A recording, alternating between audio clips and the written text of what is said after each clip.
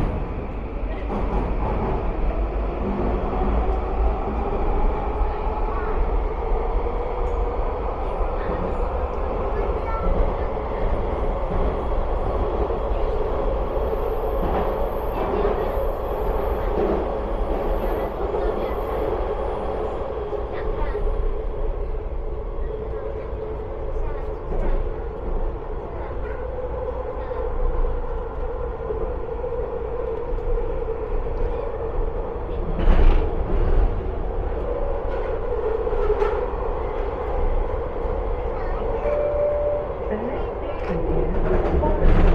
Permanent station. Doors will open on the left. Turn right when leaving the train for Canada Line, SeaBus, and West Coast Express.